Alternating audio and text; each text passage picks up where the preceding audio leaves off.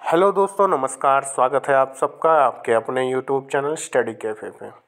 दोस्तों, आज हम बात करेंगे इंडिया एंड श्रीलंका के।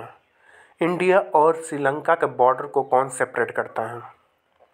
जैसे भारत और पाकिस्तान की सीमा को जो है अलग करने वाली रेखा का नाम रेडक्लिफ रेखा है। वैसे ही मैकमोहन रेखा भारत और चीन के बीच की सीमा है। तो वैसे ही कौन सी जो रेखा या खाड़ी है जो भारत और श्रीलंका को अलग करता है? दोस्तों, श्रीलंका और मालदीव भारत के पड़ोसी द्वीप हैं। भारत और श्रीलंका को पाक स्टेट से अलग किया गया है। पाक स्टेट भारत और श्रीलंका के बीच बंगाल की खाड़ी का एक खाड़ी है, यह तमिलनाडु। जो भारत का राज्य है और जाफना जिला, जो श्रीलंका के बीच स्थित है। पाक स्टेट दक्षिण की ओर से घिरा है पंबन द्वीप, एडम ब्रिज, यानी जिसको राम ब्रिज बोला जाता है, और मन्नार की खाड़ी से मन्नार द्वीप, जो श्रीलंका में है।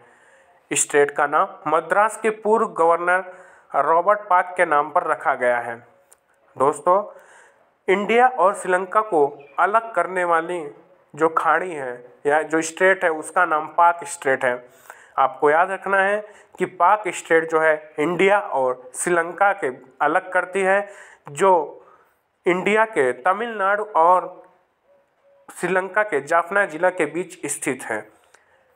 ऐसे ही रेड क्लिफ रेखा भारत और पाकिस्तान के बीच की सीमा रेखा है, मैकमोहन रेखा भारत और चीन के बीच की रेखा है। कच्छ की खाड़ी अरब सागर का एक इनलेट है जो कच्छ के रण और पश्चिम मध्य भारत के काठियावाड़ प्रायद्वीप के बीच फैली हुई है। खम्भात की खाड़ी अरब सागर पर एक खाड़ी है।